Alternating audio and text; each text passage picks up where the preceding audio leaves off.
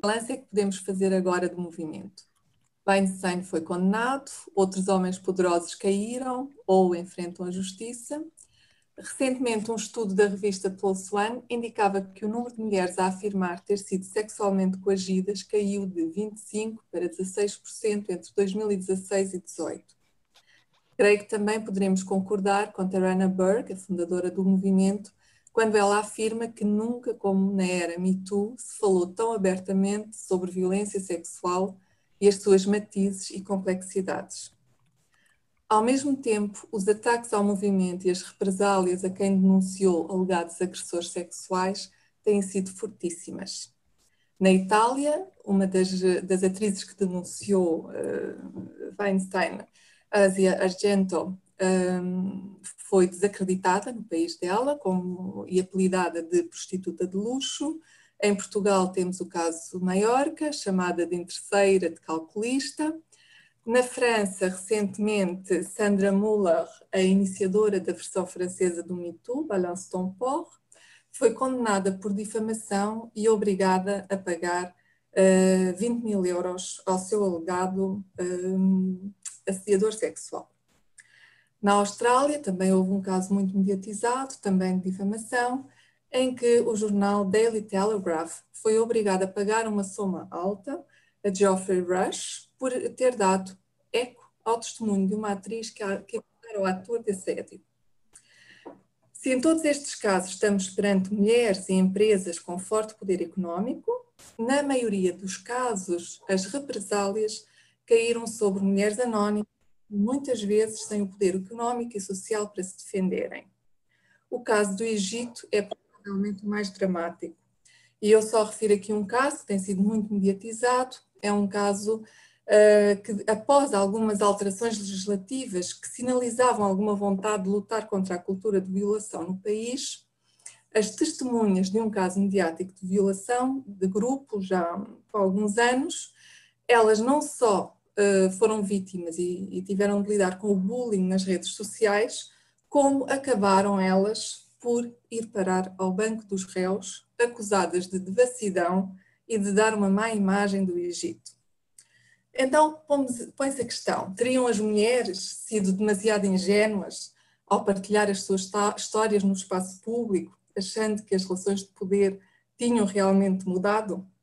Bom, no início, eu não sei se vocês conhecem, mas no início de 2018, as editoras da revista feminista European Journal of Women's Studies, elas mostravam-se muito cautelosas perante o Me Too. E elas alertavam para o facto de o ruído poder ser confundido erradamente com mudança e transformação social. E elas diziam, a queda de Weinstein, por muito encorajadora que pudesse parecer, não significava que as relações de poder estivessem realmente a mudar. Por isso é a altura de nós pensarmos no que significou o Me Too pelos diferentes espaços em que se fez ouvir. Que balanço é que podemos fazer, por exemplo, do movimento aqui em Portugal? Podemos falar sequer de um Me Too em Portugal? Para debatermos estas questões, uh, no Decoda, o Decoda convidou uh, um conjunto de especialistas de, de comunicação, de violência sexual uh, e também uma escritora que trabalhou com grande sensibilidade a questão da violência sexual. Eu passo a apresentá-los muito brevemente e uh, as nossas oradoras, são quatro oradoras, a quem dou as boas-vindas e agradeço em nome de Decodam terem aceitado prontamente o nosso convite. Uh, eu vou, como digo, vou fazer uma apresentação muito breve e passar-lhes de imediato a palavra. A primeira oradora é a Carla Cerqueira, que tal como a Tina é consultora do Decodam doutorada em Ciências da Comunicação investigadora do Centro de Estudos de Comunicação e Sociedade na Universidade do Minho. Ela é coordenadora da secção Research and Policy do Global Alliance on Media and Gender e tem estado envolvida com várias associações científicas e organizações não governamentais na área da igualdade de género e direitos humanos. Uh, depois temos a Ana Oliveira. A Ana Oliveira é nossa colega do SES, é investigadora do SES, ela é socióloga, doutorada em estudos femininos, com a tese A Expressão Normativa do Assédio, Aproximações Sociojurídicas à Sexualidade. A seguir teremos Aida Gomes, socióloga formada na, na, na Holanda, que entre, durante duas décadas, entre 97 e 2017, eh, trabalhou e viveu entre o Kosovo, Libéria, Guiné-Bissau, Angola, Sudão, Moçambique, Suriname e Camboja para várias organizações, com particular frequência em missões de paz das Nações Unidas. Ela também é escritora e autora do romance Os Pretos de Pousa Flores. E por fim teremos Maria João Faustino, doutoranda em Psicologia na Universidade de Auckland, eh, com investigação de doutoramento, uma investigação de doutoramento sobre as mutações em curso nos repertórios heterossexuais, especificamente em torno da heteronormalização do sexo anal. Então, eu passava a palavra de imediato à Carla Boa tarde a todas, acho todas e todos, não sei se temos aqui todos.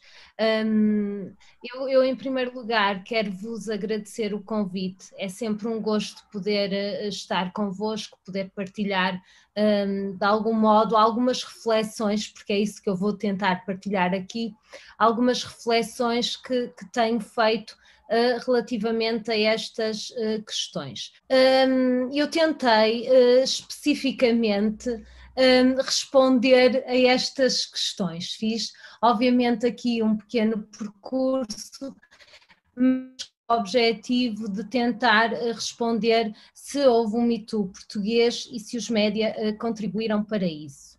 Um, comecei, obviamente, por algumas interrogações sobre o movimento um, e parece-me que algumas delas uh, não são existem, há especificidades, obviamente, do contexto português, mas eh, claro que em termos, diríamos, internacionais, este movimento ele trouxe para o debate público as questões uh, do assédio uh, e da violação enquanto violência de género de uma forma que não existia até então. E, muitas vezes o que tem acontecido é que uh, parece que foi neste momento que surgiram estas temáticas com as denúncias que ocorreram em Hollywood e que estas questões não apareceram muito antes e que a base do movimento não vem de um período anterior.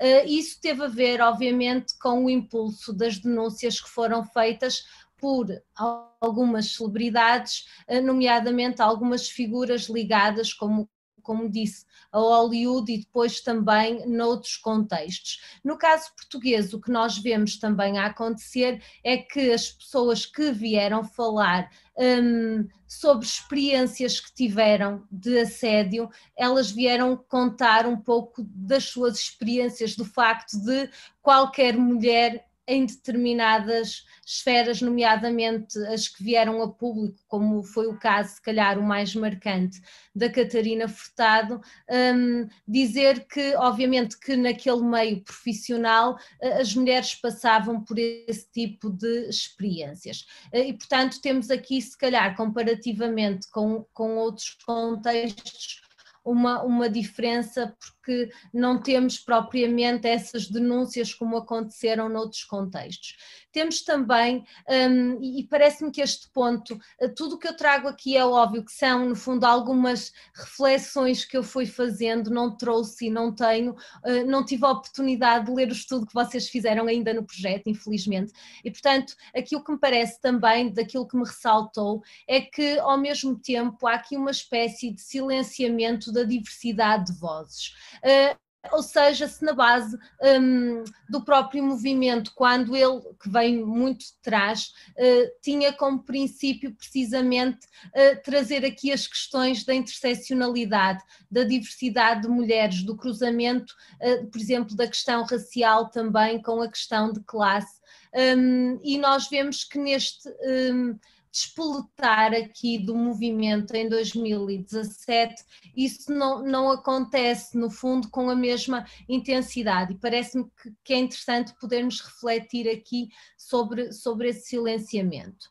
Uh, depois também tudo o que vai uh, surgindo no, espaço público mediatizado e que cria uma espécie de ruído, uma espécie de sentimento de que tudo uh, quase pode ser visto como assédio, não contribuindo para a discussão específica daquilo que configura o assédio sexual e configuram as diversas formas de violência sexual.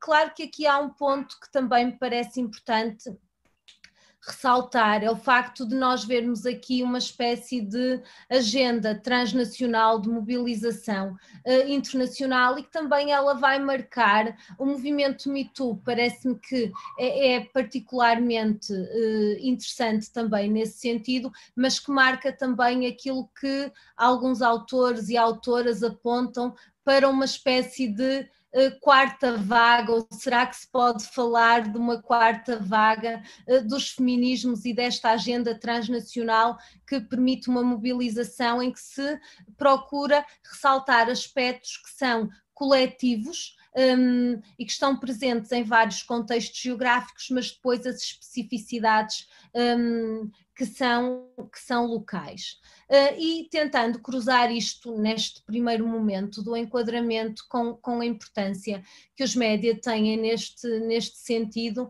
um, é óbvio, eu trouxe aqui apenas três pontos, o facto de, de nós olharmos uh, aqui para os média como uma área extremamente importante na prevenção primária do crime e da violência uh, devido ao seu potencial para influenciar a percepção pública sobre estes assuntos, depois interessa-nos perceber até que ponto é que isto aconteceu com o caso uh, Me Too, uh, que são obviamente espaços, os média, importantes para a formação de discursos públicos sobre determinados acontecimentos, temas e atores sociais, e aqui falaremos das questões relacionadas com a visibilidade que este tema teve, mas também com as diversas formas de enquadramento que foram uh, utilizadas. E depois não esquecer que a maioria, uh, e eu fui buscar aqui uma referência já muito antiga, mas que me parece muito interessante um, ehm, e com muita atualidade para nós conseguir continuarmos a pensar estas questões,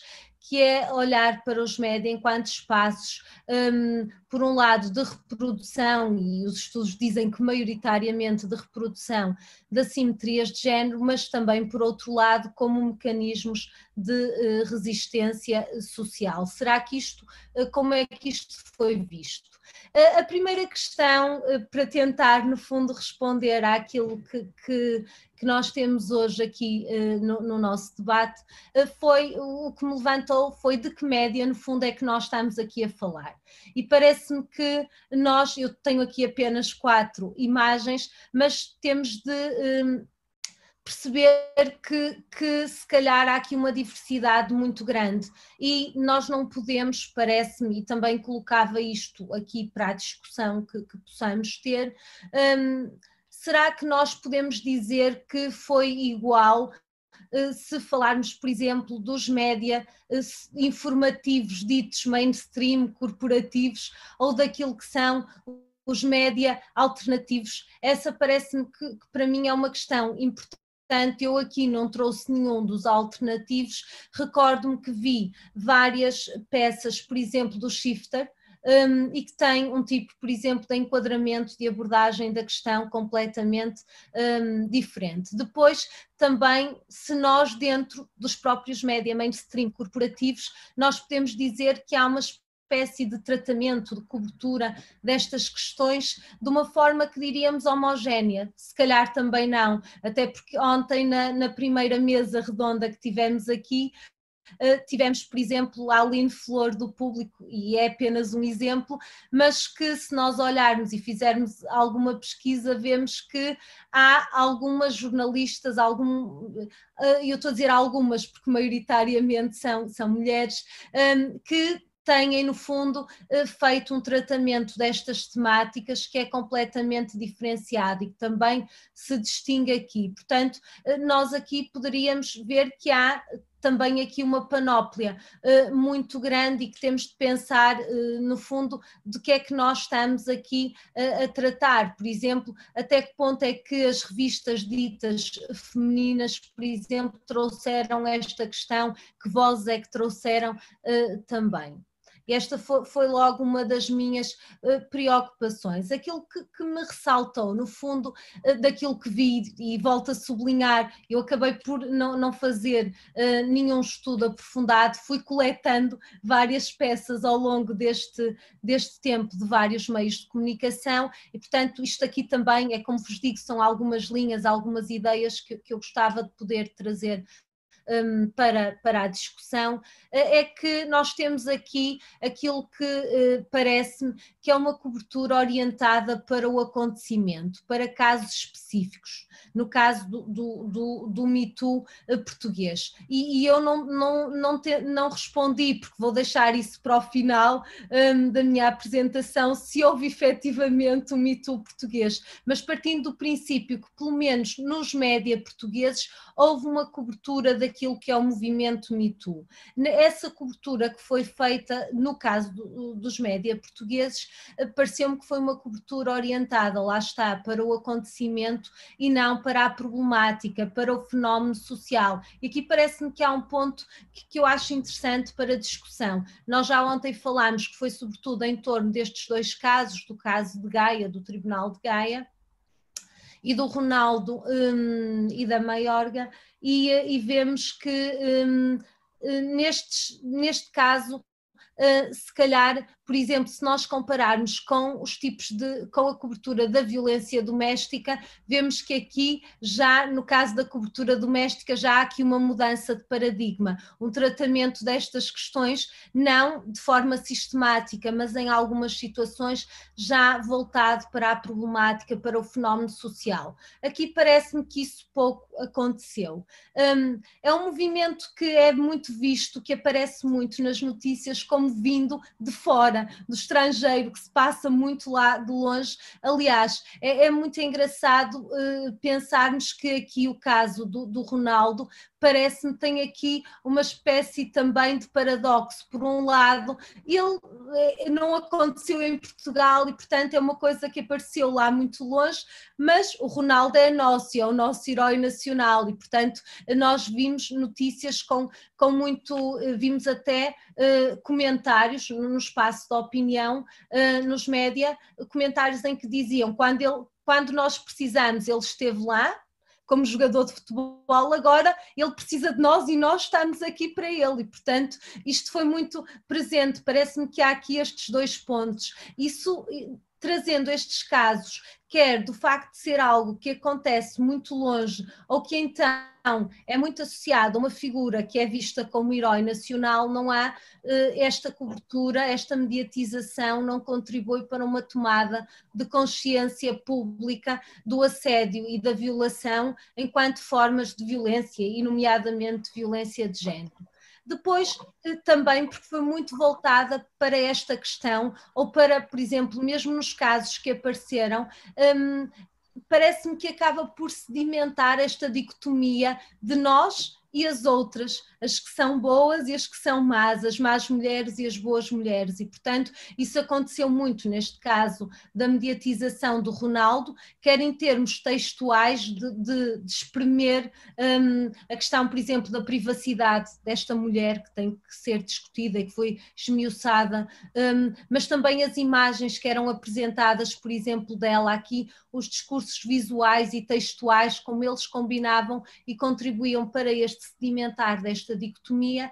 E, portanto, o que me parece é que nós temos, por um lado, uma grande visibilidade desta questão, sobretudo nestes momentos em que ela é direcionada para alguns acontecimentos específicos, até quando lá fora há denúncias, quando depois temos estes casos, mas há aqui uma invisibilização a grande visibilidade contribui para esta revitimização e para uma desresponsabilização um, eh, por parte dos, destes uh, agressores. E vemos também aqui, parece-me, algo que se, que se pode traçar também aqui um paralelismo com outras situações de violência de género, que é o perdurar na cobertura mediática de estereótipos, de crenças e de mitos que continuam a estar extremamente uh, presentes. Um, Aliás, eu trouxe só aqui, fiz uma pesquisa muito rápida por palavra-chave, e se nós víssemos estas várias notícias, todas elas contribuem para esta revitimização um, e para esta desresponsabilização, por exemplo, neste, neste caso. Depois eu trouxe este exemplo, tem, está aqui connosco a Júlia, uh, e é, é, muito interessante este exemplo, porque eu acho que uh, o espaço da opinião é um espaço particular neste caso um, e que nos vai permitir trazer aqui esta espécie de contraditório de outras vozes, das vozes que são alternativas. Eu trouxe este caso não foi só porque a Júlia está aqui conosco, mas porque acho particularmente interessante pensarmos que foi através desta possibilidade e destes espaços que nós conseguimos trazer outro tipo de narrativa para o espaço público. Por exemplo, eh, aqui o facto de, dela questionar questionar precisamente este posicionamento do Pacheco Pereira e que houve esse espaço também dado pelos média uh, no caso da opinião. E depois eu vou terminar precisamente trago aqui a pertinência dos espaços da opinião, porque eu vou terminar, uh, espero eu conseguir, com, com uma crónica que também foca essa questão. Outro ponto uh, que me parece importante é este das redes sociais digitais como plataformas de, de resistência, por um lado, e de mobilização um, social, mas por outro lado também uh, como espaços que fomentam os discursos de ódio, a questão, por exemplo, dos algoritmos, da questão também das próprias bolhas. Uh, será que aquilo que nós vemos é o mesmo que as outras pessoas veem? Será que nós podemos dizer efetivamente que houve ou não houve um Me Too?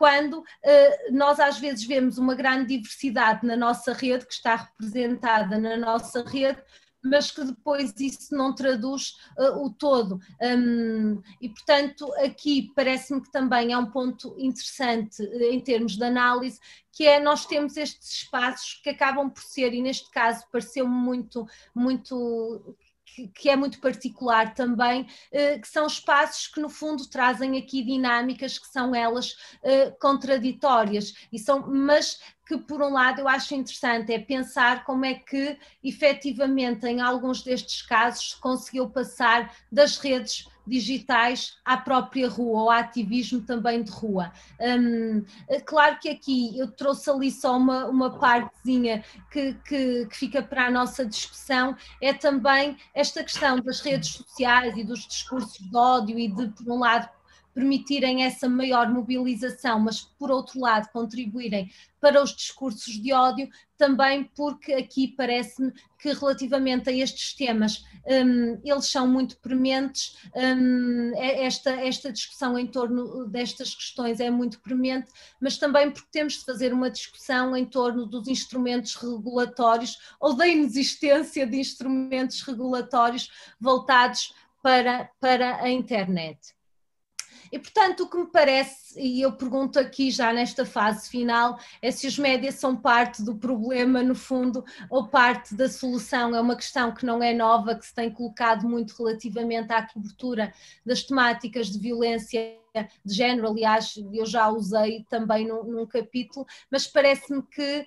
Hum, para esta questão ela faz todo sentido, porque nós vemos que há aqui uma grande complexidade de, de canais, de plataformas de média, vemos que ao mesmo tempo há mais vozes no espaço público, sobretudo na opinião, mas também importa perceber que impacto é que essas vozes uh, têm. Um, se por um lado me parece que estes casos podem ter contribuído para uh, fomentar as denúncias em torno da violação e do, do assédio sexual, por outro lado, parece-me que aquilo que foi muito marcante foi uma tentativa, uh, e a Júlia trouxe isto agora na, na, introdução que fez da mesa, de descredibilização do movimento também, com algumas vozes e que são vozes de uh, pessoas que têm bastante destaque no próprio espaço público em Portugal. Sendo que o caso, lá está, de maior expressão foi mesmo este do Ronaldo e acabou por ser muito.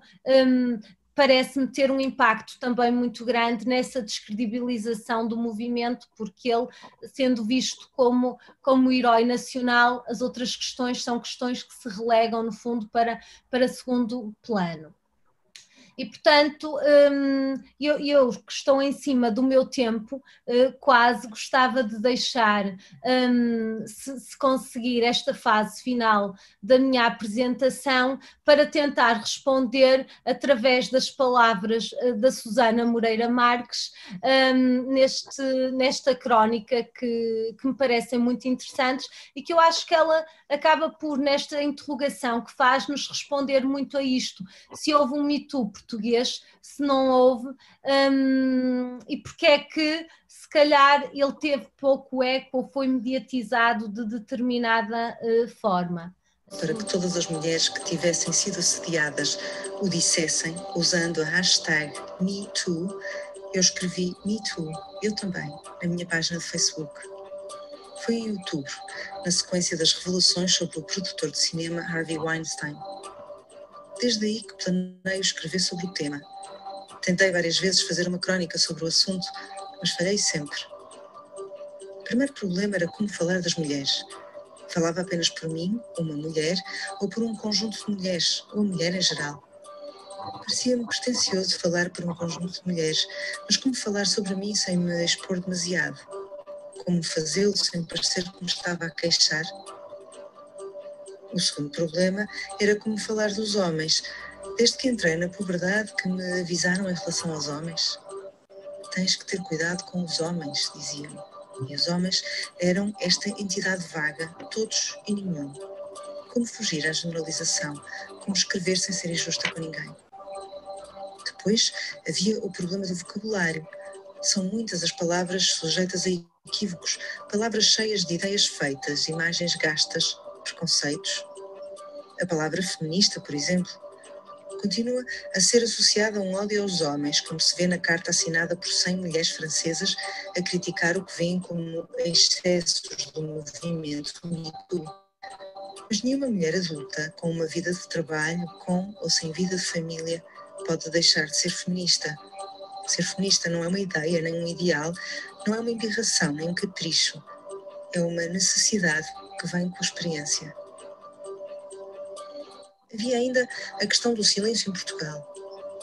Enquanto nos Estados Unidos, no Reino Unido, em França e noutros países as mulheres quebravam décadas de silêncio, em Portugal não se juntou um enorme coro de eu também.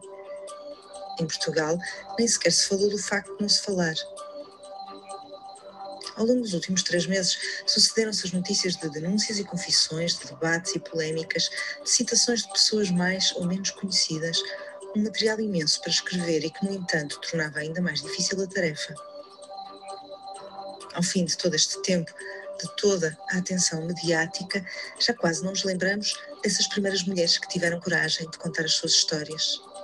Na verdade, talvez seja tão difícil para uma mulher escrever sobre o movimento Me Too, porque é, afinal, um movimento de histórias intensamente pessoais, íntimas.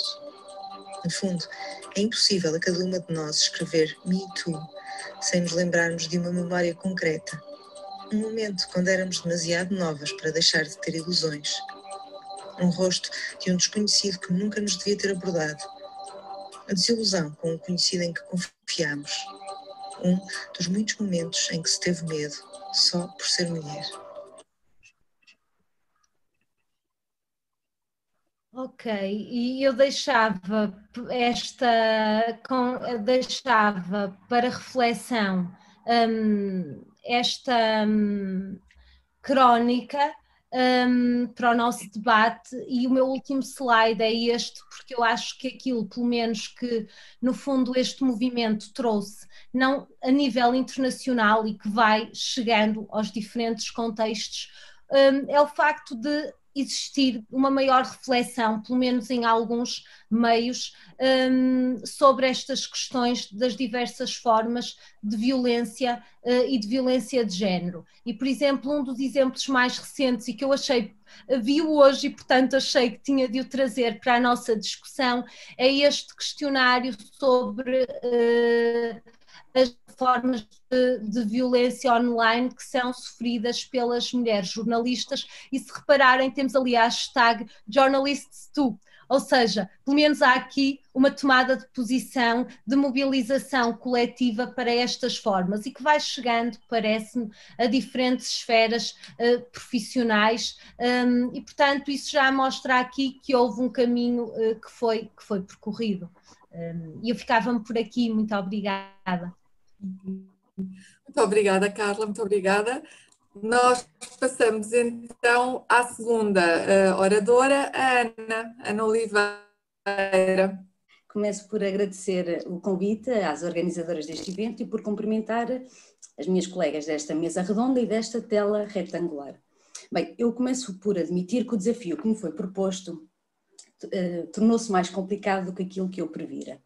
Uh, a juntar a uma propensão uh, para alguma confusão mental e discursiva de que padeço, o tópico, ou a maneira como eu me tenho aproximado ao tópico, compreende planos e ordens de sentido paralelos, que, embora dialogando, ocorrem em campos com presunções, premissas, implicações e finalidades distintas. E aqui refiro-me nomeadamente ao campo jurídico, quer na jurisdição laboral, quer na jurisdição penal, mas também ao campo académico, ao campo ativista e ao campo da recepção mediática de todos os campos anteriores. Esta problemática aproximação ao campo é, aliás, um problema com o qual já me tinha debatido no meu trabalho de doutoramento em estudos feministas, eh, no qual procurei analisar a expressão jurídica do assédio a partir de uma incursão crítica, ou que se quer crítica, na sua descrição, regulação e invocação em diferentes fontes de direito. Neste trabalho procurei ensaiar uma linhagem sociojurídica um, do assédio através de uma aproximação genealógica ao à história jurídica dos regimes de subordinação laboral e de proteção penal da sexualidade, debatendo as raízes da gramática normativa do assédio e a sua relação problemática com as reivindicações laborais e criminais emergentes no panorama sociopolítico português. Esta reflexão em torno da doutrina, da dogmática jurídica e do referencial teórico-normativo que estruturam a regulação e a imaginação do assédio é nesse trabalho triangulada com uma imersão no campo e no, no terreno e na casuística uh, judicial do assédio fazendo das narrativas e da argumentação laboral e criminal o meu objeto de estudo.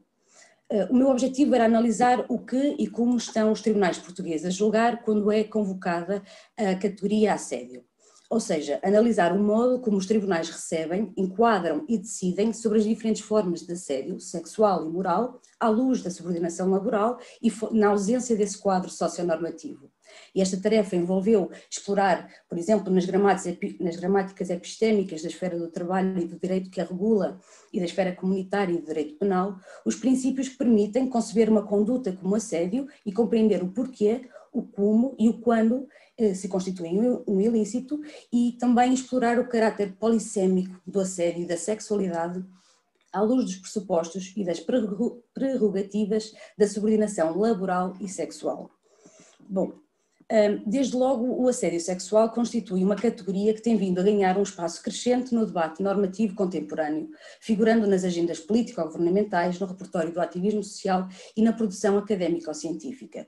O assédio foi um objeto de discussão na elaboração e redação do primeiro Código de Trabalho em 2003, um trabalho que é prévio, certamente, a essa redação final, e no campo penal esta discussão é muito anterior. Também no campo governamental, a atenção não é recente, já em 1989 a Comissão para a Igualdade e para os Direitos das Mulheres, que é a atual SIG, a Comissão para a Cidadania e Igualdade de Género reeditou o manual de Maria Alice Botão sobre, que, era, que é considerado o primeiro manual sobre assédio sexual no trabalho, e na mesma altura, entre 88 e 89, a CIT encomenda, a Comissão para a Igualdade no Trabalho e no Emprego, encomenda aquele que é considerado o primeiro grande estudo quantitativo em assédio sexual no, no trabalho. Este trabalho é publicado em 1994, coordenado por eh, Ligia Amâncio e Maria Luísa Lima. Este estudo, aliás, é adaptado e reaplicado entre 2014 e 2015, pela coordenação de, de Natália Torres, e foi em 2017 publicado. Neste contexto, o movimento MeToo tem suscitado uma atenção virulenta para o que era, desde a década de 80, um tema polémico na academia e um objeto privilegiado de estudo nos fóruns jurídicos, dos globais aos locais, com especiais implicações regulatórias nas esferas laboral, organizacional e criminal. Conferindo protagonismo ao direito como um lugar de verdade e de justiça e lidando ao mesmo tempo com o escorregadio universo do assédio sexual, esta dinâmica social e política criada pelo hashtag MeToo serviu de holofote a um campo de lutas discursivas que vinham questionando as maneiras de descrever, de interpretar e de julgar comportamentos e sujeitos pelas lentes da sexualidade.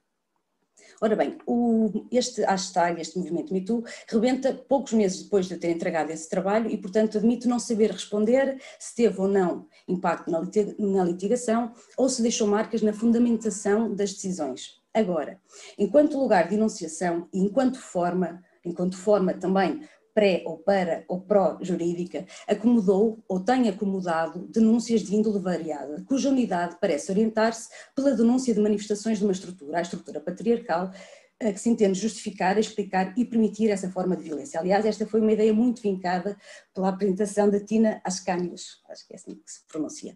Bom, talvez por partilhar esta genética de uma compreensão estrutural ou de denúncia de uma estrutura é que intuitivamente ou instintivamente seja associado ou absorvido por este conceito de assédio sexual. E digo isto porque várias das denúncias mediatizadas relatam eventos interpretáveis como violação e não entrando na gradação da censura moral e legal plasmada nos ordenamentos jurídicos, creio que este detalhe interpretativo resulta da elasticidade e fluidez e historicidade que caracteriza o conceito de assédio sexual e é, portanto, em torno de algumas descoincidências semânticas, epistemológicas e políticas em torno deste conceito de assédio sexual que me irei deter.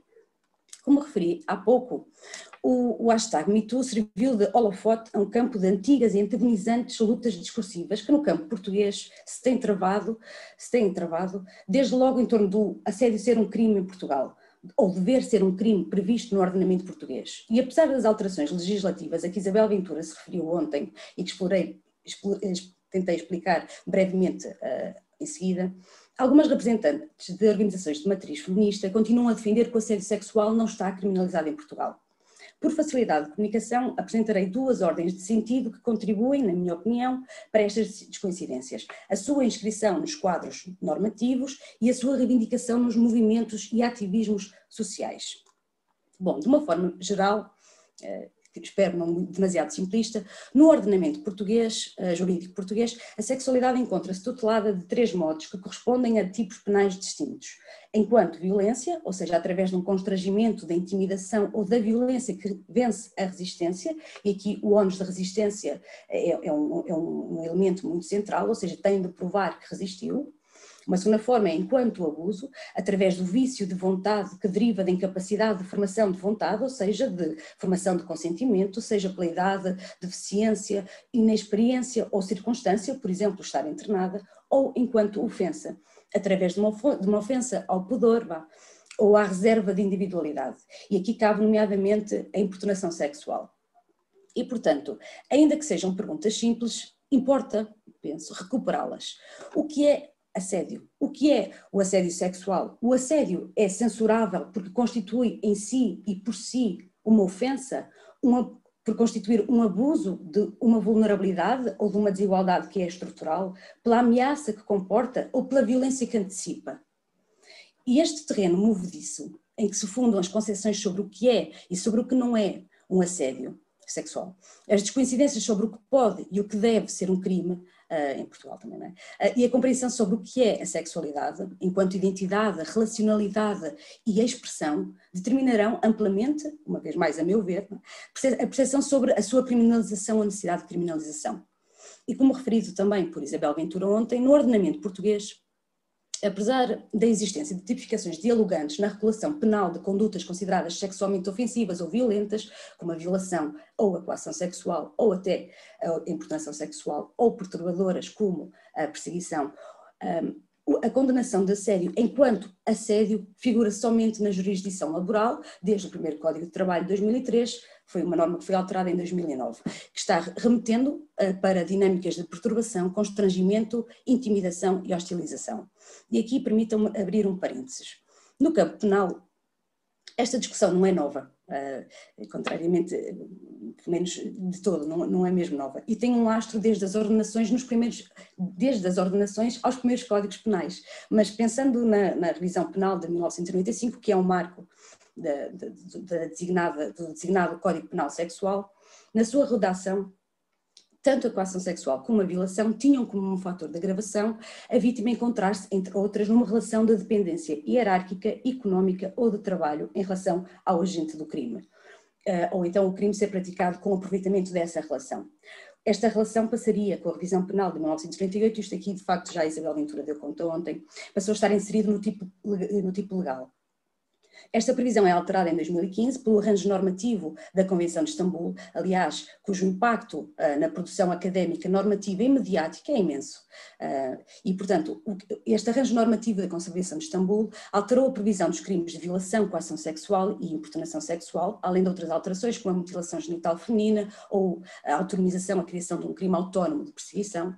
Um, mas nos crimes de violação e educação sexual, mantendo o meio primário de execução do crime, ou seja, por meio de violência ou ameaça grave ou ter tornado inconsciente ou posto na impossibilidade de resistir, é eliminada no número 2 deste artigo, destes artigos, a previsão do abuso da autoridade resultante, entre outras, de uma, família, de uma relação de, de, de dependência hierárquica, económica ou de trabalho.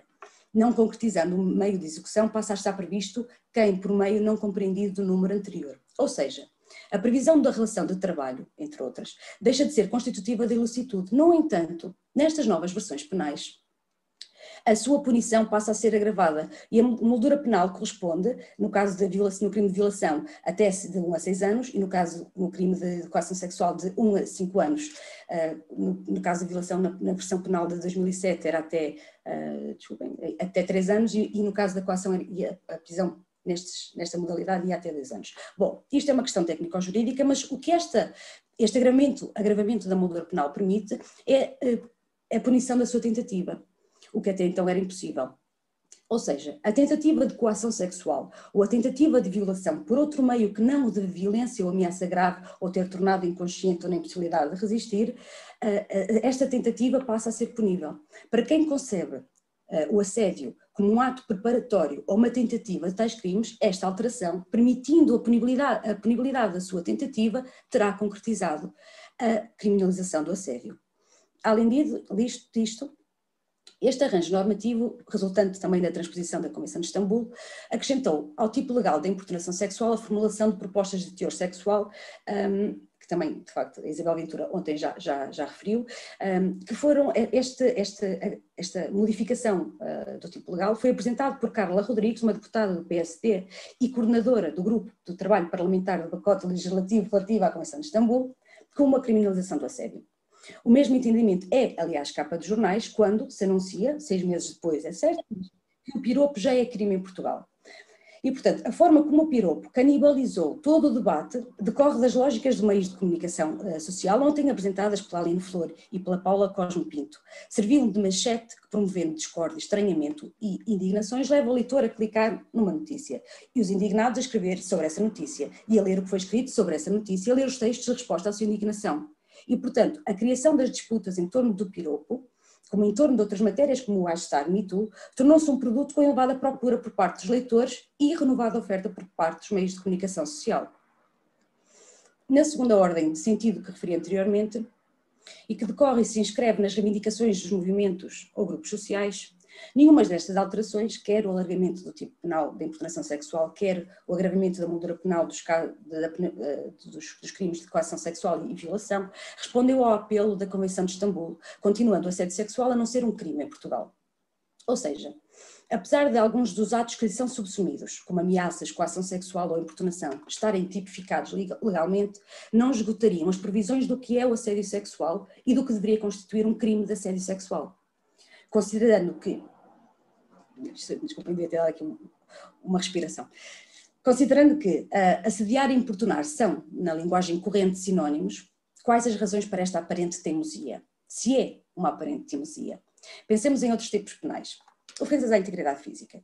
As ofensas à integridade física, que estão descritas como ofensas ao corpo ou à saúde de outra pessoa, não elencam na sua descrição comportamentos integráveis nessa ofensa, mas especificamente poderemos incluir, um, intuir, peço desculpa, que comportamentos como uma estalada, um morro, um pontapé, etc., são uma ofensa à integridade física, uh, sem haver reivindicação conhecida, em torno da criminalização específica dos murros, por exemplo. Então, por que é que se entende como formas ou manifestações de assédio, que, como formas ou manifestações de assédio sexual não poderiam estar incluídas no tipo penal da importunação sexual, por exemplo. Tratando-se de atribuir um entendimento a termos, palavras ou expressões cujo significado pode ser diverso e cuja delimitação é imprescindível à definição da ilicitude dos comportamentos, procurarei, muito sucintamente, apresentar um possível rastro dedutivo. Bom, a observação jurídico-feminista da realidade social inscreve-se na expressão ou no resultado diluído um mal original, o patriarcado, que está na origem e que justifica tanto a desigualdade sexual estrutural quanto a violência sexual individual. Cumulativamente, na semântica do, do termo assédio sexual, inscreve-se a memória sociojurídica de uma disposição maquinoniana, ou seja, dirigida a partir do trabalho canónico, isto para brincar com assuntos do dia, de Catarina Maquina, um trabalho que data de 1979, da sexualidade como fonte e forma de dominação e violência é esta memória sociojurídica do conceito que se reivindica com a criminalização do assédio sexual. E é essa mesma memória que as correntes feministas, não encontrando nas tipologias penais ou legais disponíveis, reivindicam que seja criminalizada. E tendo por base estes entendimentos, que se sustenta, é tendo por base estes entendimentos, aliás, que se sustenta a reivindicação da migração do assédio sexual enquanto assédio sexual, conceptualizado na jurisdição laboral a partir da matriz assimétrica em que se baseia o direito de trabalho. É? Esta é, é, a fundação, uh, do, uh, as premissas da fundação do, do, Código de Trabalho, uma relação assimétrica entre o trabalhador e, uh, e quem contrata.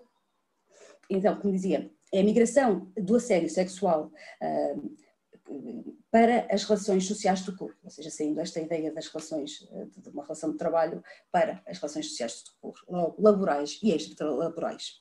E nesta reivindicação, as, as correntes feministas contrapõem à presunção da igualdade formal liberal uma desigualdade estrutural patriarcal, aliás teorizada por autoras como Carol Patman no seu contrato sexual de 1993, restaurando nessa desigualdade o fundamento legal existente ao da assimetria postulada nos, nos contratos de trabalho. E esta, uh, uh, seja, deixo se calhar para daqui a bocadinho o que eu ia dizer agora, que já me ia perdendo. Bom, para concluir, concluo uh, com, uh, com, a antagonização entre as correntes feministas e o campo judicial uh, que o MeToo, o hashtag MeToo, vem agudizar. Por um lado, as teorias feministas têm oferecido uma narrativa sobre a sexualidade como dominação, que serve de comando epistemológico tanto à interpretação da realidade social como à expectativa depositada na função jurídica. Por outro lado, o sistema judicial, precisamente por deter o monopólio legítimo da violência, que não o monopólio legítimo da justiça, e aqui até dialogando com o que Isabel Ventura uh, referia ontem, aliás, é talvez esse monopólio, essa presunção de justiça que, que o movimento MeToo uh, reclama para si, disputa e reclama para si. Bom, como dizia, o sistema judiciário e judicial, precisamente por ser o único órgão legítimo uh, do exercício da violência estatal, ou seja, uma violência que por ser legítima nem sequer é constituída enquanto violência, pensemos, uma detenção judicial não é um sequestro, e portanto, uh, mas precisamente por ela de ter esse monopólio uh, legítimo da violência, é estruturado e orientado e vigiado por tecnicismos jurídicos, ou por método, por um método jurídico, uh, um expediente com vários problemas, com todos os problemas, aliás, que apresenta, mas que assentem algumas soluções garantísticas, como a presunção de inocência ou os meios e a produção de prova. O método que é ele próprio produto do que é considerado uma, conquista social perante a experiência de outros modelos de organização social. E, e eu tenho noção que dei vários saltos, um, e, e atalhei muito uh, o processo de reflexão que, que, me leva, que me trouxe, aliás, a estas conclusões, mas resulta em parte do problema da aproximação ao tema que referi logo no início.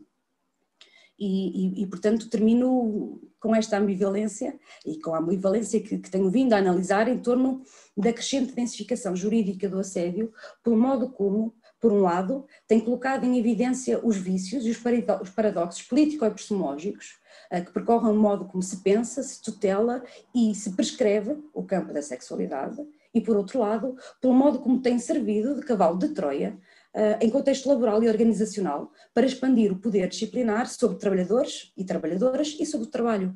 É, aliás, a partir dessa expansão disciplinar no âmbito laboral, nos meios artísticos, estéticos ou pedagógicos, que surgem medidas e decisões consideradas incómodas ou perigosas, pelo menos na minha opinião, como códigos de conduta,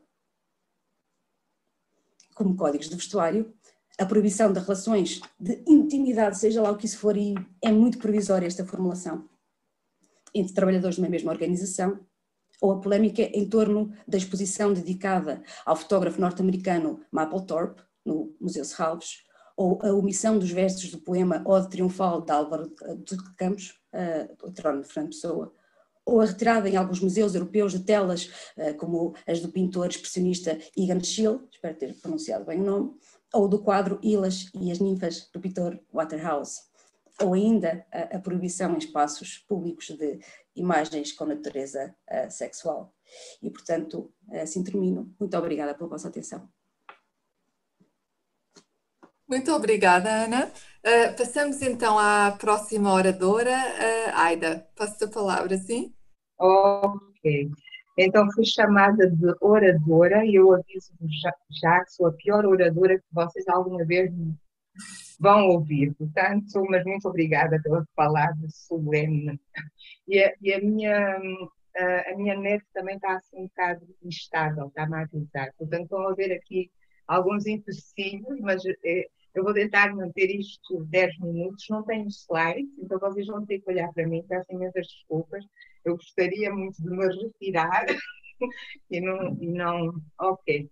Mas uh, eu nem cumprimentei. Boa tarde a todos e todas. Também estou muito grata pelo convite para participar nesta mesa virtual, uh, porque isto são assuntos uh, pertinentes e estou muito.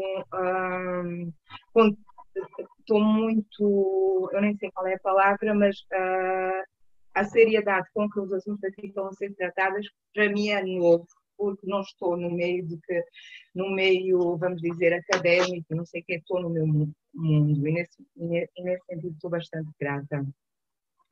Isto, uh, vamos dizer, no âmbito da reflexão para todas e todos que esses temas nos apelam, para mim, uh, pensei que ao nomear as palavras de assédio, assédio uh, sexual ou violação sexual, eu, eu, vou começar por chamar o ultraje que ocorre sistematicamente, estruturalmente, e causa sofrimento de uma forma visível ou às vezes menos nítida. E, e nesse sentido, uh, como também provavelmente não me conhecem, mas eu tento ser escritora, Uh, eu pensei quando estava a preparar-me que título dar a isto, ou que, qual é que é, vamos dizer, uh, o título que serviria para uh, enfeitar, porque um título apresenta e enfeita. Eu escolhi o título, título O que nos dizem as palavras. Uh, antes de dar continuidade, em princípio, o que eu vou falar é sobre o que me trouxe aqui a minha reação quando recebi pela primeira vez o convite. Depois, uh, as minhas ilações sobre o que eu ouvi ontem, uh, na sessão de ontem, sobre masculinidades, violência e assédio sexual.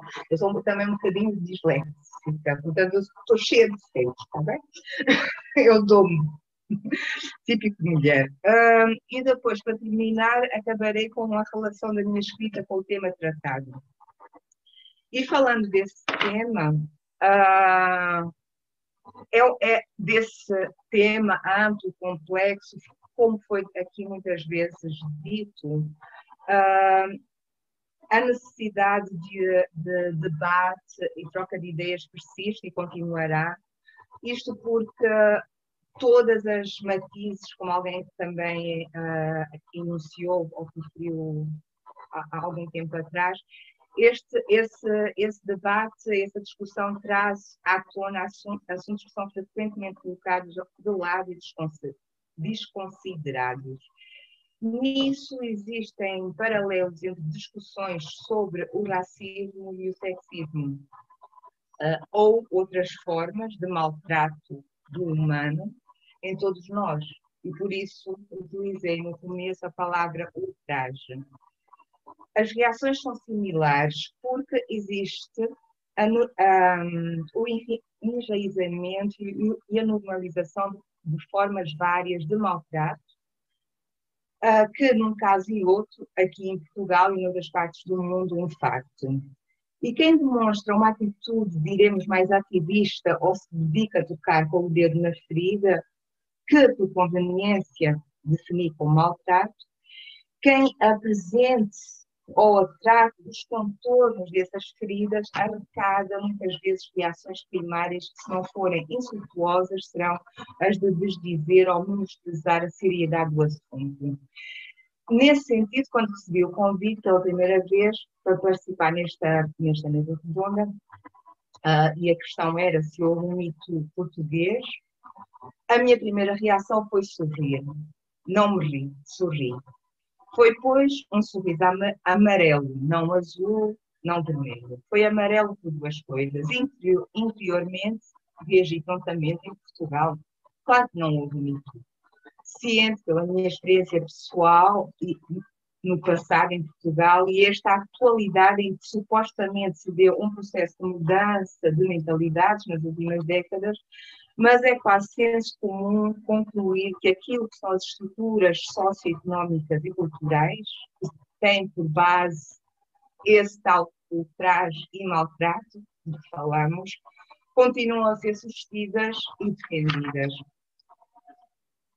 Uh, e depois, no segundo pensamento, foi que, que me ocorreu, após este convite, foi uh, perguntei-me a mim própria quem sou eu para vir falar deste, deste assunto num fórum mais ou menos público e manifestar um certo criticismo ao que se passa em Portugal.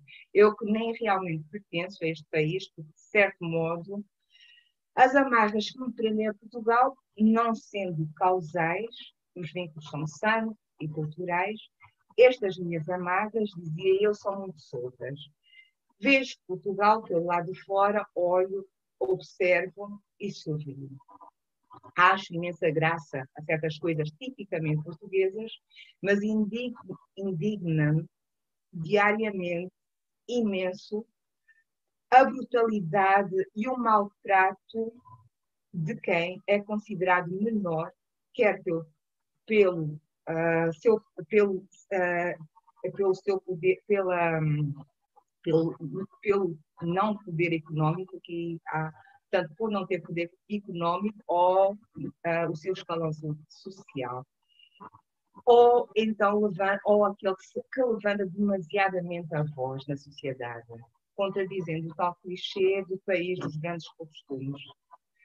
Também sei e sinto diariamente que sou considerada como outra pessoa, não realmente portuguesa por ser de origem angolana e por tal de, a detentora de não detentora de conhecimento sobre a realidade portuguesa e de certeza não tendo o direito de expressão de criticismo que deverá ser reservado ao meu país de origem, Angola. Esta incursão e esta introdução apenas para realçar que esta discussão é necessária, vital, porque apesar de uma maior abertura para a discussão, para discussões, ou para a discussão deste tema e ajustamento entre outros, a nível legislativo, como foi falado agora antes de mim, o caminho ainda é longo. Neste sentido, cada uma das apresentações da, sessão uh, de ontem foram para mim bastante esclarecedoras e das anotações que fiz ontem, retive de várias pessoas algumas coisas. Da Isabel Ventura retive o que ela demonstrou, com dados estatísticos, que houve antes e depois do movimento Pico, um ligeiro crescimento de consciencialização sobre as normas jurídicas uh, na assédio e violência sexual na esfera, do, na esfera do trabalho e na comunicação social, levando, entre outras coisas, a um maior escrutínio das estruturas jurídicas e dos mídias, e também um maior número de inquéritos oficiais sobre aquilo que ela denominou importunação sexual e constrangimentos no trabalho. Uh, fiquei, para mim, a palavra importunação e constrangimentos neste ano. Estamos a falar contra mim uma revelação, isto a parte de tudo. Da apresentação de, da, Aline, da Aline Flor, gostei da chamada de atenção para aquilo que é a responsabilidade do, do jornalista na abordagem em órgãos de comunicação sobre estes assuntos e também a não equívoca asserção de que existe um problema de violência sexual em Portugal. A asserção esta que foi completada com a apresentação de Ângelo Fernandes, que em nome de Quebrar o Silêncio destacou o que muitas vezes é esquecido, que também os homens sofrem de assédio e violência sexual.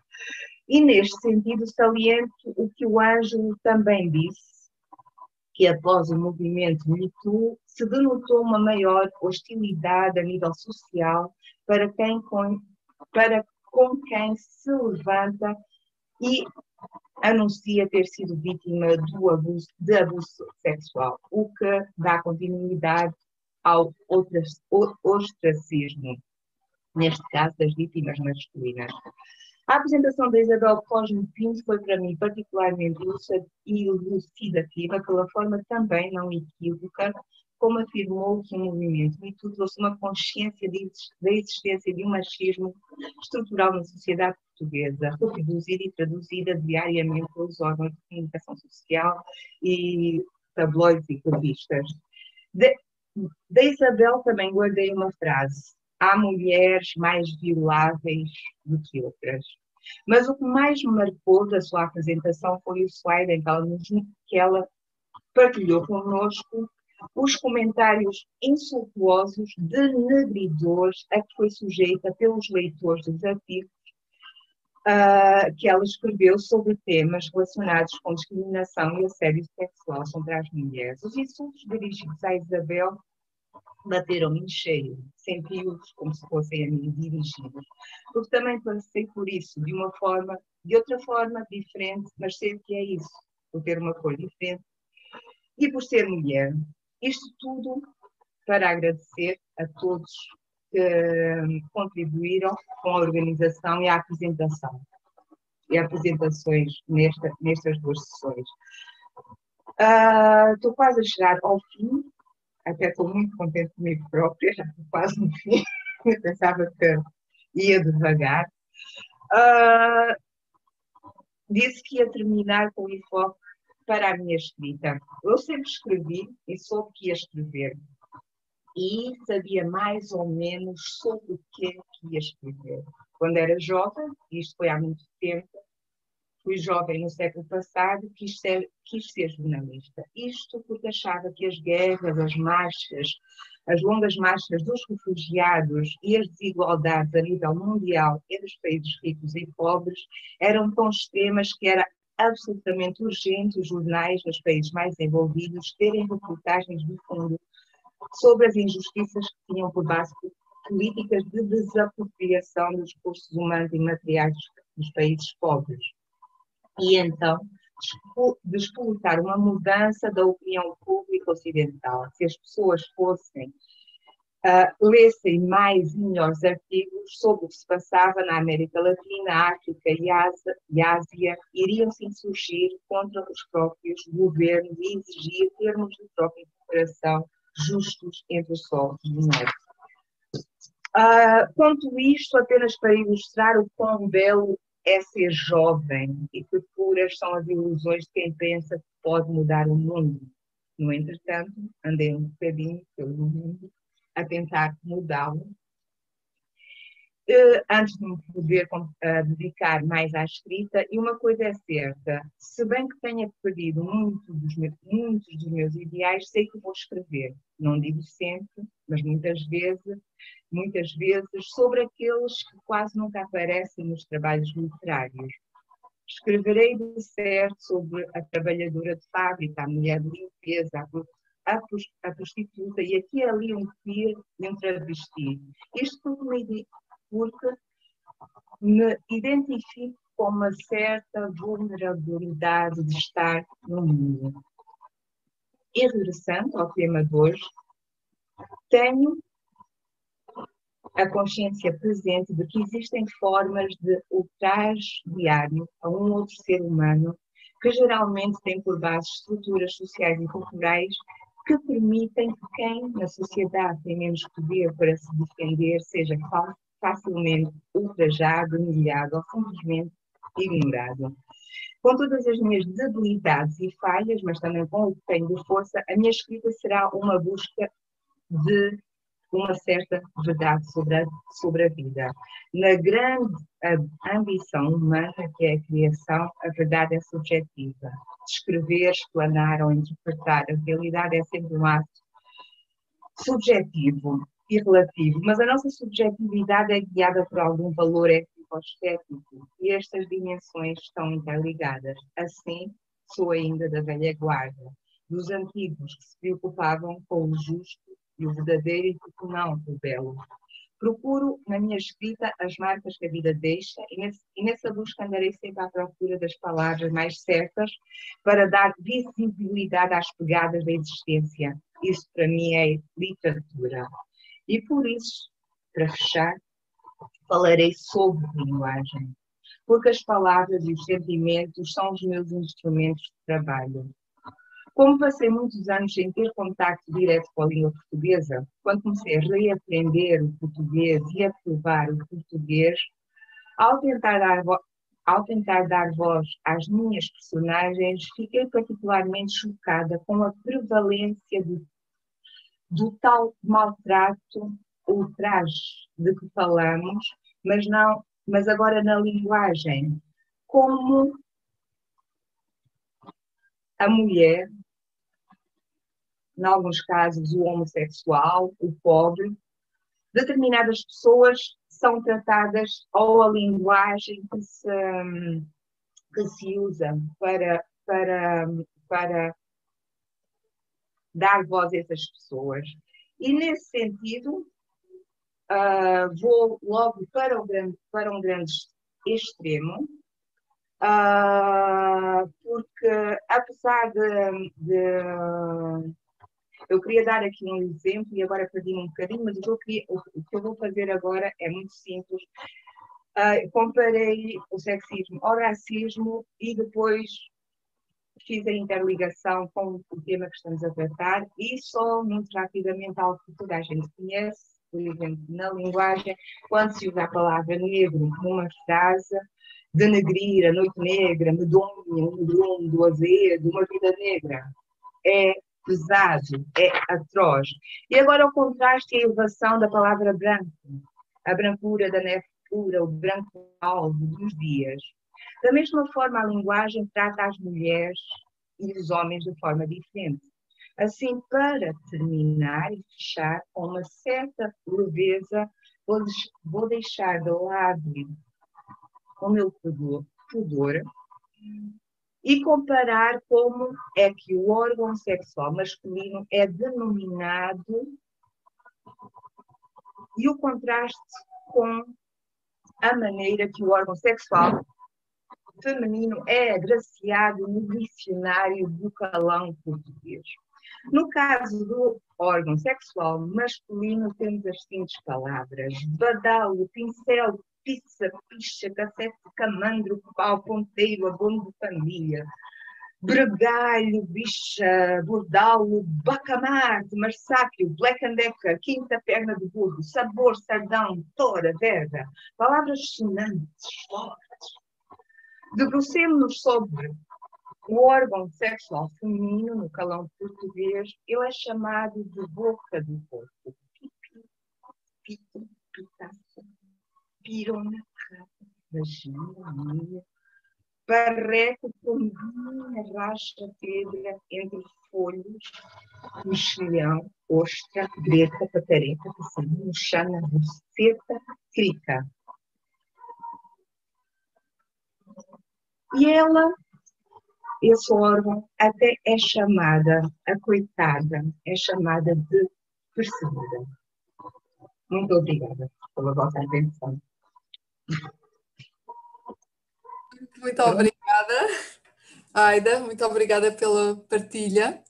Nós passamos então à Maria João para a última apresentação. É com muito gosto que estou aqui entre vocês e dizer que hum, vou acelerar um bocadinho, não tenho ideia de quanto tempo é que estei, mas que respondendo assim de uma forma muito spoiler às questões que foram colocadas, à interrogação que foi colocada, houve um mito português, uh, deixem-me só que eu tenho agora as imagens em frente.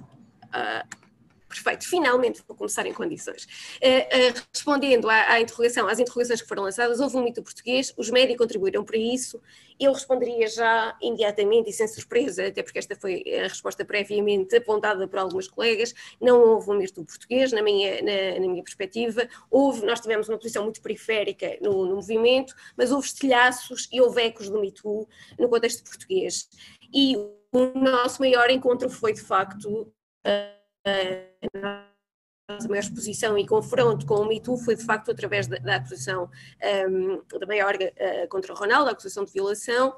Só para contextualizar, uh, é, é, sobre isso que eu venho aqui dar, uh, partilhar algumas reflexões e só para contextualizar eu vou focar porque é o meu tema de doutoramento, foi isso que me fez seguir o tema com maior proximidade e interesse, uh, apesar da distância, porque eu não estava sequer em Portugal em 2018, portanto, uh, provavelmente assisti e acompanhei os vós.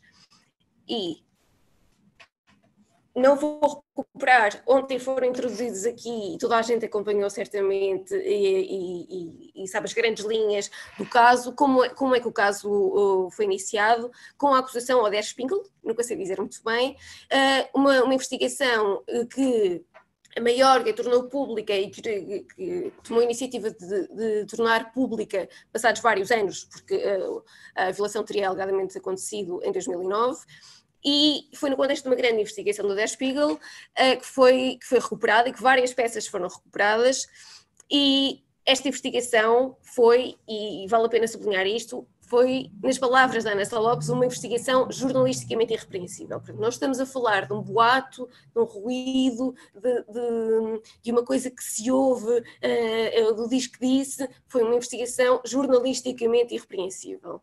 E eu vou fazer aqui uma pequenina declaração de intenções. Eu não tenho qualquer pretensão de neutralidade a falar deste caso. Eu escrevi sobre ele, escrevi.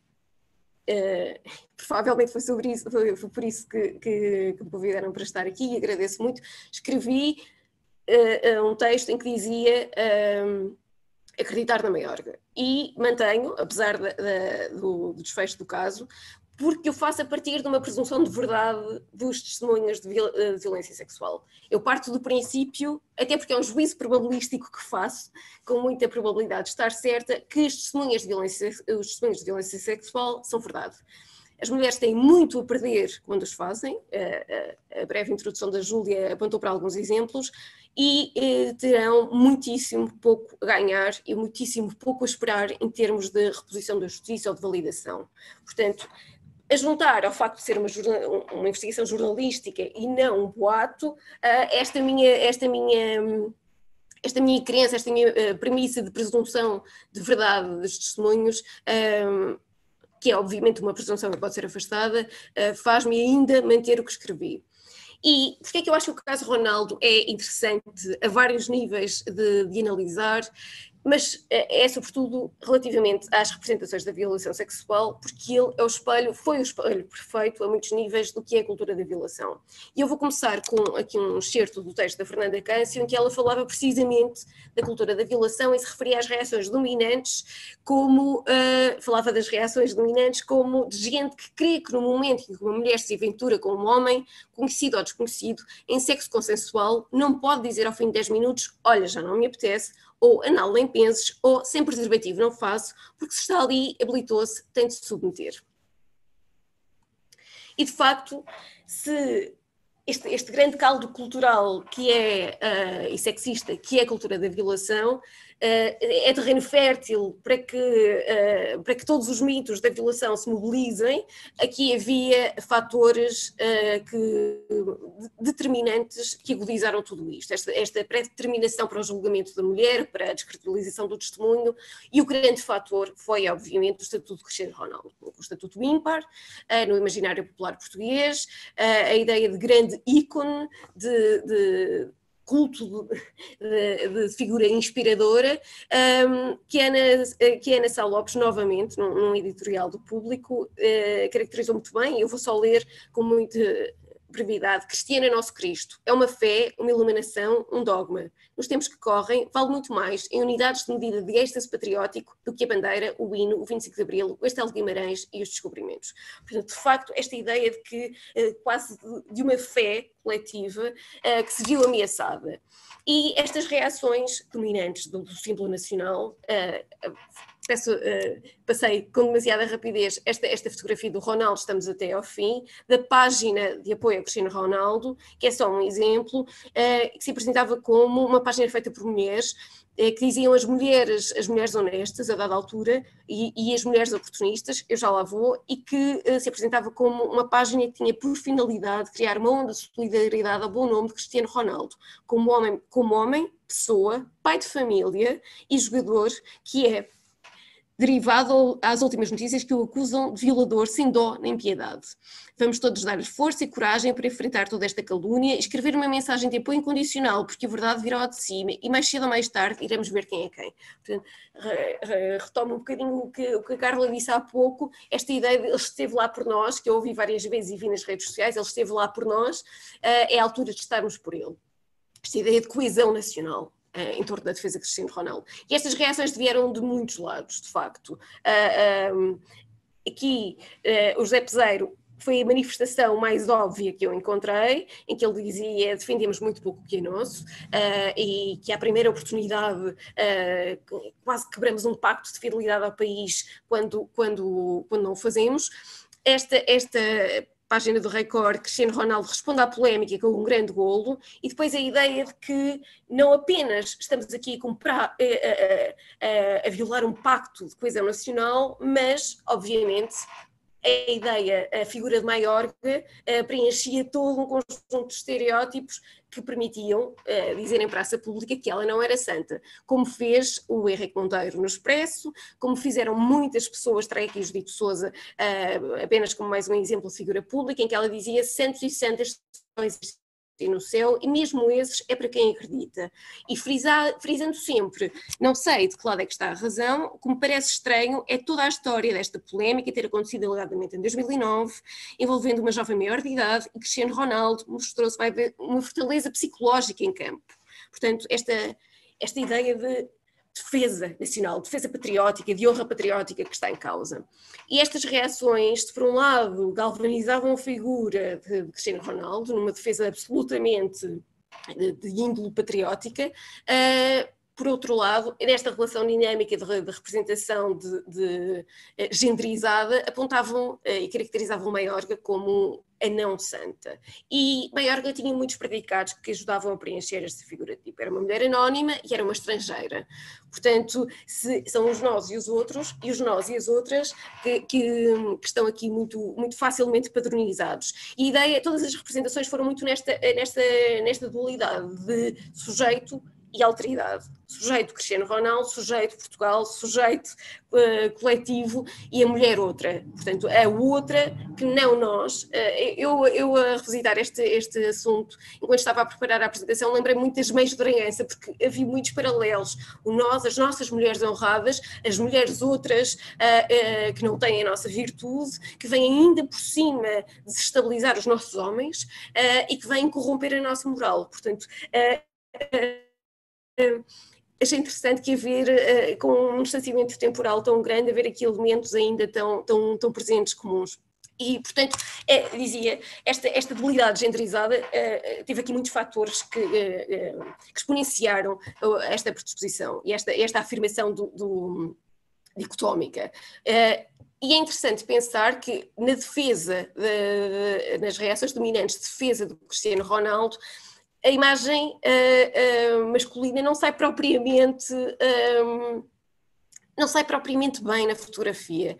Uh, ao mesmo tempo que se normaliza, e este é um dos, um dos fundamentos da cultura de violação, que se normaliza a masculinidade, a ideia de masculinidade como predatória, como sexualmente predatória, uh, selvagem, indomável, um, naturalmente e biologicamente programada quase para uma forma de ataque permanente, uh, ao mesmo tempo isto torna-os quase inocentes. Cristiano Ronaldo, quer dizer, o que é que ele podia fazer com uma mulher que vai até uh, à suíte, não é? Portanto, esta é, é quase uma infantilização aqui de, de, da masculinidade predatória, por um lado, e de mas ele acaba por não ter culpa, não é? Portanto, é um comportamento natural. E, dizia a, a, figura da outra, da estrangeira, não é? da mulher anónima, uh, e estereótipo da gold digger. Uh, esta foi a narrativa dominante, não é? Uh, da gold digger, de uma mulher oportunista, em que, um, que procurou capitalizar a sua sexualidade e o encontro com o Ronaldo, tirar dividendos disso e anos depois voltar a ter projeção mediática e capitalizar novamente o que teria sido o encontro consensual. Portanto, esta, esta narrativa uh, preenche e, e, e, projeta todos os mitos da violação, não é? É, é? a ideia de que existem vítimas credíveis, histórias credíveis e existem predadores credíveis, predadores sexuais credíveis. E Cristiano Ronaldo, de facto, não era um deles, não é? Um sex symbol, uh, um homem multimilionário, uma estrela planetária, uh, não é condizente com a imagem estereotipada de um violador. Um, e esta ideia que as mulheres mentem sobre a sua sexualidade, que a capitalizam, que capitalizam esse, esse capital sexual. Um, Maiorga preencheu tudo isso, ou fizeram-na preencher o retrato Maiorga, uh, fizeram com que ela preenchesse tudo isso. E, e ainda dentro desta, desta representação eh, Desta, desta, representação dominante, é? uh, a ideia muito, muito genderizada, claro, sobre consentimento. Consentimento como qualquer coisa que é irrevogável, peço desculpa, a partir do momento em que é dado pelas mulheres. Portanto, se uma mulher sobe, se uma mulher dança, se uma mulher uh, estabelece contacto íntimo, se inicia uh, intimidade com, com um homem, esse consentimento está dado e, portanto, é um envelope aberto, é uma carta branca para tudo o que se passa a seguir. Esta ideia é, é ainda são ecos de ideias profundamente patriarcais, não é? Que tiveram uh, espelho e consagração legal, até sobre a exceção marital da violação, e portanto esta ideia é ainda muitíssimo presente de que Maiorga subiu, foi vista a dançar, havia, havia, filmes com ela a dançar, com Ronaldo, portanto, obviamente, a partir do momento em que subiu à suíte, ela sabia e tinha-se posto a jeito, sabia o que estava para vir. Uh, portanto, é, trouxe aqui, se calhar não vou apresentar, mas trouxe aqui o texto da Maria João Marques, que, que, fazia muito esta crítica, esta observação. Esta, ela dizia, ela, nesta semana aprendi que consentir sexualmente é entrar num quarto com um homem, mesmo numa suíte com ampla zona social, ou dançar com ele numa discoteca. Eu trouxe, eu não sei se conhecem, e agora não consigo ouvir as vossas respostas, não sei se conhecem este, este este certo uh, da CMTV, deste comentário desta rubrica social com a Maia e o Nuneiró, uh, e eu acho que era interessantíssimo uh, ver, porque todo o discurso, toda a linguagem não verbal, todos os discursos imagéticos são, são, são profundamente sonantes aqui. Um, gostava, gostava de apresentar, se calhar deixo para o fim, se não conseguir abrir imediatamente, Uh, uh, eu, vou, eu vou pôr no final para quem quiser ver, porque eu acho que vale mesmo muito a pena. Acredito que a maior parte das pessoas conheça, conheça o vídeo, mas onde a Maia fazia toda uma caricatura, sempre muito irónica do que se tinha passado, e dizia: Esta menina não, não bebe, uh, o copo que ela tem na mão é de água, portanto, todo, todo um todo um comentário profundamente jocoso, uh, como obviamente ela estaria a mentir, o retrato da, da, da, mulher mentirosa, de obviamente quem não, não há ninguém que queira estar com o Cristiano Ronaldo, o Cristiano Ronaldo, uh, o Cristiano Ronaldo é feio, ela não, ela não sabia para onde é que ia, uh, muito eco dos, dos comentários nas, nas, redes sociais de ela achava que ia jogar às cartas e ela achava que ia rezar quando foi para a suíte. mas vale de facto a pena e a forma, a piada até sexo anal que eu já vou recuperar da referência ao como uma violação pela retaguarda. Portanto, foi um exemplo cabal. Se tivesse de escolher um documento do que é a cultura da violação em Portugal, escolheria isto, esta rúbrica social e estes comentários da MEI e do Nuneiro, porque são profundamente, profundamente um, expressivos. Agora, se podemos achar que isto é, é circunscrito a um palco, a um contexto de comentário, aquela rúbrica e especificamente àquele canal, estamos enganadas e, toda a gente, e todas sabemos. Porque a mesma narrativa foi propagada e veiculada eh, em muitas esferas, em muitas camadas e por, muitas, eh, por muitos interlocutores e por muitos protagonistas eh, da academia, aos média. Eu trago aqui o exemplo da Raquel Varela, que também acho um exemplo particularmente revelador uh, nesta, nesta aproximação à narrativa da mulher mentirosa e da outra, nós não somos a outra, uh, onde ela dizia, eu não sei se ela foi violada ou não, mas este tipo de mulher não me representa em momento algum, nem pode representar nenhuma mulher agredida. Aliás, é o tipo de mulher com quem eu gostaria de nunca me cruzar na vida. Jamais, por exemplo, andarei lado a lado numa manifestação de luta pela igualdade ao lado destas tipas. Uh, falava do esgoto moral que o mito é, e, e que estaria comprovado nesta, uh, pelo ato da Maiorga, pela figura da Maiorga, e ela dizia, uh, sem que isto estivesse provado em nenhum momento na investigação e no processo, que a Maiorga era, era, uma, prostituta, era uma prostituta de luxo, que sob qualquer ponto de vista, como categoria sociológica, se enquadram na categoria óbvia de relações de dinheiro, prostituição de luxo ou, ou venda de valores morais. E se esta, se esta narrativa teve eco uh, em, muitas, em muitas frentes, em muitos discursos, em muitas plataformas, também o teve, na minha análise, até nas respostas feministas, que foram muitíssimo tímidas, e aqui no caso de um texto publicado pelas Capazes, uh, eu diria que foram muito além de tímidas. Há, há, o texto foi muito é, escrito e apresentado uh, sob uma pretensa neutralidade, dizendo temos de esperar, porque é nos tribunais que se resolve que se resolvem estes casos. Um, do, ela, uh, o texto acabava com deixemos uh, a vontade de sangue para os vampiros da Netflix. Uh, ou, ou, algo muito semelhante, uh, e a autora dizia, por mais que nos custe engolir aos impacientes, a justiça ainda é feita nos tribunais e os processos de investigação não podem nem devem ser apressados para alimentar circos mediáticos. Portanto, esta ideia de que devemos de que a presunção de inocência é qualquer coisa que deve ser transversal a todas as dinâmicas sociais. Portanto, há, há aqui uma, uma há aqui um, um, refúgio na judicialização à resposta da, da, da, violência sexual, quando, obviamente, noutros casos não existiu. E a autora dizia, uh, uh, quando assumia, que queria muito acreditar na, na, na, inocência de Cristiano Ronaldo e começava até por dizer: será que Cristiano Ronaldo, ídolo nacional e um dos melhores jogadores do mundo, é afinal um violador? Ou será que uh, Catherine Mayorga, uma vil chantagista que seduziu Cristiano Ronaldo na discoteca onde se conheceram, já com plano traçado, para mais tarde poder extorquir-lhe dinheiro? Portanto, não há só uma apresentação destas hipóteses como válidas, é? como excludentes, como, uh, como disjuntivas, mas também a ideia de o melhor jogador do mundo é afinal um violador, não é? Portanto, esta, uh, as categorias de uh, obviamente ele não poderia ser o melhor jogador do mundo e um violador. Um, agora, muito, muito brevemente, eu, eu, já não sei quanto tempo tenho, mas acredito que esteja no final, uh, nas referências ao seccional. Eu fiz esta pesquisa por uh, uh, keywords, foi uma, foi uma breve pesquisa, e encontrei para além dos elementos que já conhecia, da capa uh, que todas devem lembrar, a capa do I, uh, onde o arquiteto Tomás Taveira aparecia, depois de muitos anos uh, de silêncio, a dar uma entrevista, e na mesma capa, a referência ao Cristiano Ronaldo e às acusações de violação de Cristiano Ronaldo.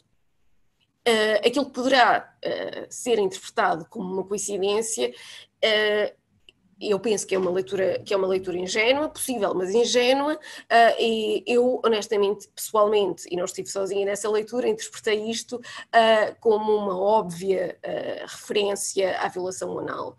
E as referências ao sexo anal um, foram muito, uh, da, breve pesquisa, da breve recolha que fiz, foram muito neste, neste limbo de sensacionalismo entre o escárnio e o choque. Aqui estas duas capas da Flash, uh, novos detalhes da noite de CR7 com Maiorga, Ronaldo revela ter usado bola de cuspo para sexo anal.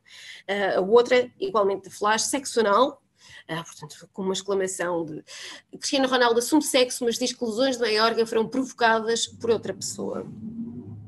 E a referência à retaguarda, convido-vos a ver aquele, aquele certo, uh, uh, aquele momento televisivo, uh, porque é todo ele todo ele um testemunho da, da forma, eh, do pior tratamento que a referência seccional recebeu na imprensa portuguesa a propósito do caso Ronaldo.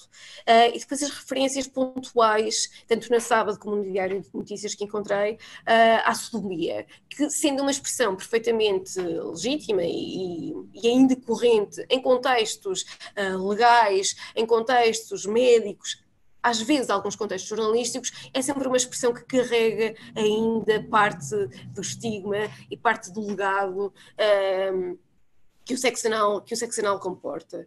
Portanto, queria encerrar numa nota mais leve e mais positiva. Houve respostas pontuais uh, de, de, reação a esta, a esta mitificação do Ronaldo e a este, a, a esta, este julgamento em massa uh, de Maiorga, deste assassinato de caráter, uh, até com protagonistas improváveis. João Miguel Tavares foi um deles, o, o Miguel Sousa Tavares a mesma coisa, um, onde disse estamos perante uma violação, e depois houve textos que, não tomando uh, o partido Ronaldo, uh, da Maiorca, porque uh, maioritariamente isso, isso não aconteceu, que um, criticaram muito, foram muito críticas da defesa absoluta, incondicional, cega uh, de Ronaldo, do lastro patriótico, do mais, uh, do mais uh, permitam uma liberdade, porque é nesse, é, é, nesse, é nesse registro discursivo que estou a falar, como disse no início, eh, do mais boçal que existe uh, e do mais sexista que existia uh, e que foram questionando esta, esta ideia de, de Ronaldo uh, acima da crítica, acima do bem e do mal.